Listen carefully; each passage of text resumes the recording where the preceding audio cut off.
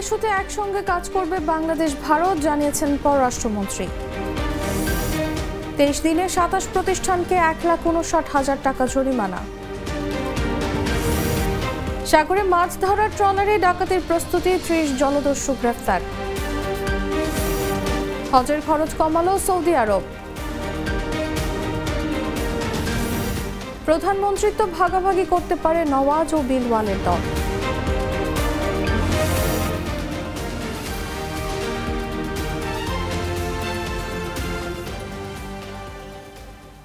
শুনছিলেন সংবাদ শিরোনাম। সন্ধ্যা সাতটা নিউজে সবাইকে আমন্ত্রণ জানাচ্ছি। সাথে আছি আমি তাসলিমা তিথি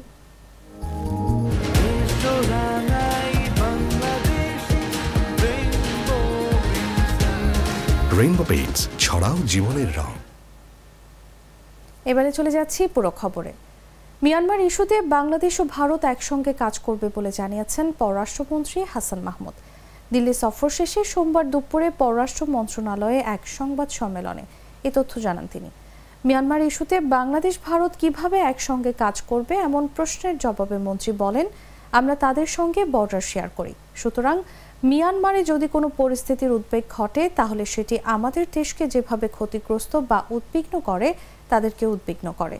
সুতরাং দুই দেশেরই যেহেতু উদ্বেগ প্রতিবেশীকে নিয়ে, তাই আমরা একসঙ্গে কাজ করার অনেক বিষয় রয়েছে। সেজন্য আমরা একসঙ্গে কাজ করব বলে আলোচনা করেছি। বিশেষ করে রোহিঙ্গাদের প্রত্যাবাসনের ব্যাপারে আমরা ভারতের সহযোগিতা সবসময় চেয়েছি, এবারও চেয়েছি।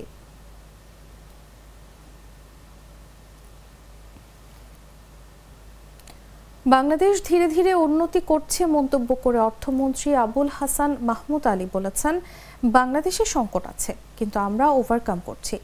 একই সঙ্গে বাংলাদেশ এখন ঊর্ধ্বমুখের দিকে। বাংলাদেশ যে সম্ভাবনার দেশ, সেই ট্র্যাকেই ফিরে এসেছি। সোমবার সচিবালয়ে অর্থ মন্ত্রণালয়ের নিজ দপ্তরে সাংবাদিকদের এক প্রশ্নের উত্তরে তিনি কথা বলেন।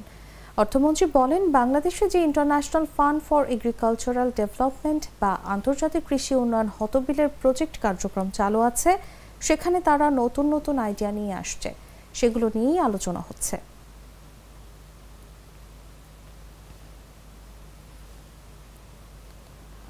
সময় গড়ানোর সঙ্গে সঙ্গে জমে উঠছে ঢাকা আন্তর্জাতিক বাণিজ্য মেলা।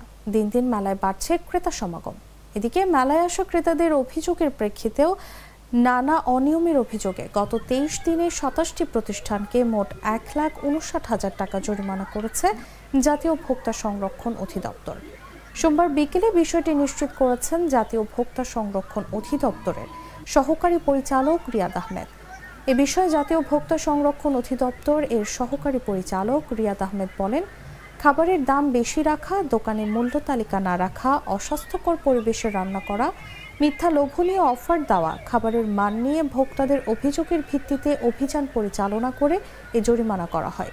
আগামীতে এমন অভিযান অব্যাহত থাকবে বলেও জানান তিনি।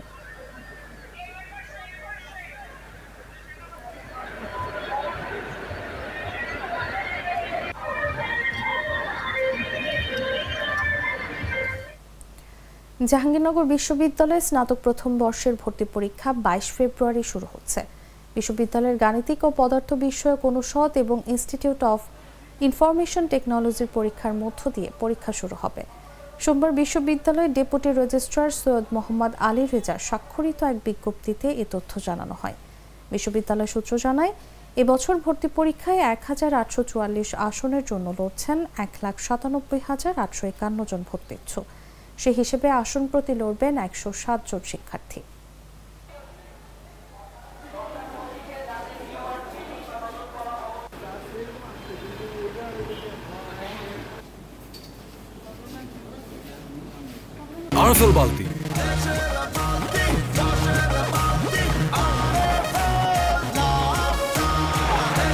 দেশের বালতি, দশের বালতি আরফেল বালতি।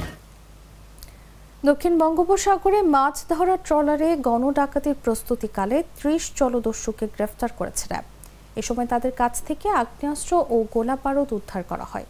রবিবার রাত থেকে সোমবার ভোর পর্যন্ত চলে রুদ্ধশ্বাসে অভিযান। বিষয়টি নিশ্চিত করেছেন র্যাব সাতের সিনিয়র সহকারী পরিচালক নুরুল আফসার। তিনি জানান, অভিযানে তিনটি ট্রলার থেকে বিপুল পরিমাণ আগ্নেয়াস্ত্র গোলা বারুদ ও জাল জব্দ করা হয়েছে। যা এ যাবৎকালে সাগরে র্যাব সাত পরিচালিত অভিযানের সবচেয়ে বড় সাফল্য। গতকালকে রাতে আমাদের একটি অভিযান পরিচালনা করা হয় এবং সেই অভিযানে আমরা গণডাকাতির প্রস্তুতিকালে তিরিশ জন জলদস্যুকে বিপুল পরিমাণ অস্ত্র এবং বিস্ফোরক সহ আটক করতে সমর্থ হয়েছি। সাম্প্রতিক সময়গুলোতে, বিশেষ করে গত বছর আমরা দেখেছি যে বিভিন্ন সময় বঙ্গোপসাগরের গভীরে অনেক জেলেদের জেলেদেরকে হত্যা করা হয়েছিল এবং জলদস্যু কর্তৃক ডাকাতির পরে অনেক জলদস্যুর লাশও আমরা পেয়েছিলাম, যেটা সংবাদ মাধ্যমে গভীরভাবে আলোচিত হয়েছিল। সে সময় আমরা অনেক জলদস্যুদেরকে গ্রেফতার করতে সক্ষম হয়েছিলাম এবং আমাদের নজরদারি অব্যাহত রেখেছিলাম। তো সেই নজরদারির কারণেই আমরা সাম্প্রতিক সময়ে জানতে পেরেছি যে তিরিশ থেকে চল্লিশ জনের একটি গ্রুপ এ ধরনের একটি গণ ডাকাতির পরিকল্পনা করছেন এবং তারা আমাদের যে র্যাবসাতে আওতাধীন এলাকা, সেখান থেকেই এই ডাকাতির যাওয়ার পরিকল্পনা করছেন। সর্বশেষ আমরা গতকালকে জানতে পারি যে আমাদের এই ডাকাত দলটি আমাদের পতেঙ্গাস্ত এলাকায় অবস্থান করছে এবং গতকাল রাত এগারোটায় তারা গণডাকাতির উদ্দেশ্যে ঘাট এলাকা ত্যাগ করে এবং পরবর্তীতে আমাদের র্যাব সদর দপ্তরের গোয়েন্দা দল এবং র্যাব সাতের আবেজানিক দল, এই দুটি ট্রলার যেটাতে ডাকাত দল আরোহণ করেছিল, সেই ট্রলারটিতে, ট্রলার দুটিকে আমরা আইডেন্টিফাই করতে পারি এবং তাদেরকে আমরা আমাদের এই চ্যানেলের শেষ মাথায় তাদেরকে আমরা গ্রেফতার করতে সক্ষম হই। বাংলাদেশি ব্যবসায়ীরা ভারতীয় মুদ্রায় ব্যবসা বাণিজ্য করতে পারবেন বলে জানিয়েছেন নৌ পরিবহন প্রতিমন্ত্রী খালিদ মাহমুদ চৌধুরী। দুপুরে রাজশাহীর গোদাগাড়িতে সুলতানগঞ্জ নৌবন্দর উদ্বোধন শেষে সুলতানগঞ্জ উচ্চ বিদ্যালয় মাঠে আয়োজিত সুথি সমাবেশে সাংবাদিকদের তিনি একথা বলেন। আপনারা জানেন যে এই প্রোটোকল রুটটি এখানে থেকে রাজশাহী একদম আরিচা পর্যন্ত এটা বিস্তৃত। আমাদের সঙ্গে ভারতের এই বিষয় নিয়ে কথাবার্তা হচ্ছে। কারণ এটা স্থায়ী রুটটা ধরে রাখার জন্য আমাদের ড্রেজিংয়ের প্রয়োজন আছে। আমরা সেইটা একটা প্রকল্প আমরা গ্রহণ করেছি এবং সেইভাবে ভারতের যে এলওসি প্রজেক্ট আছে তারই আওতায় আমরা এটা সার্বক্ষণিকভাবে নেভিগেশনটা থাকে। আমাদের বিআইডব্লিউটি এর পক্ষ থেকে সেটা পদক্ষেপ গ্রহণ করা হবে। এবং, এর বাইরেও আপনারা যেটা বললেন যে ভারতীয় মুদ্রা এবং সেটা আমরা ইতিমধ্যে ভারতের সঙ্গে আমাদের একটা এগ্রিমেন্ট হয়ে গেছে যে ভারতীয় মুদ্রায় আমরা ব্যবসা বাণিজ্য করতে পারব। সেটাও এখানে কিন্তু একটা ভালো একটা প্রতিফলন এটা করবে বলে আমরা মনে করি। জানাব আন্তর্জাতিক সংবাদ।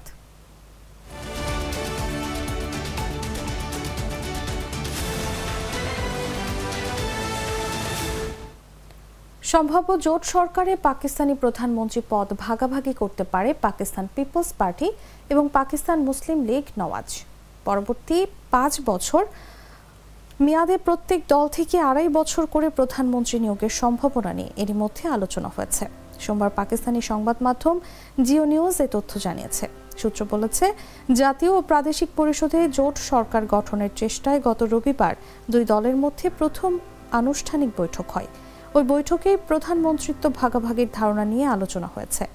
লাহোরের বিলাবল হাউসে রবিবারের বৈঠকে পিপিপি, পিএমএলএন উভয় পক্ষই সাধারণ নির্বাচনের পর দেশটির রাজনৈতিক স্থিতিশীলতার জন্য সহযোগিতা করতে নীতিগতভাবে সম্মত হয়েছে।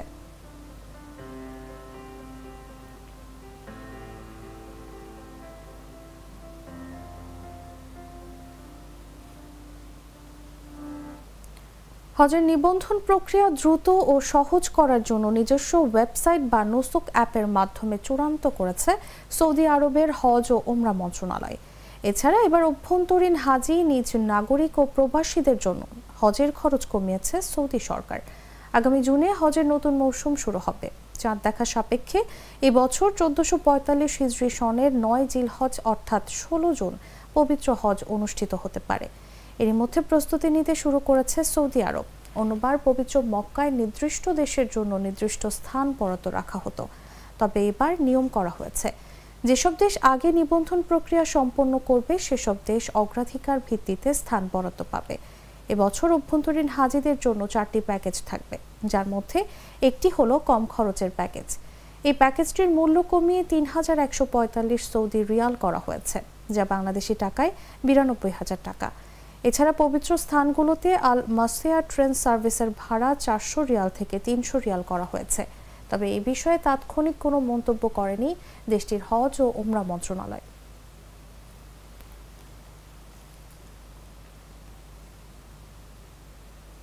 দর্শক, এই ছিল এখনকার মতো। ধন্যবাদ এতক্ষণ সাথে থাকার জন্য।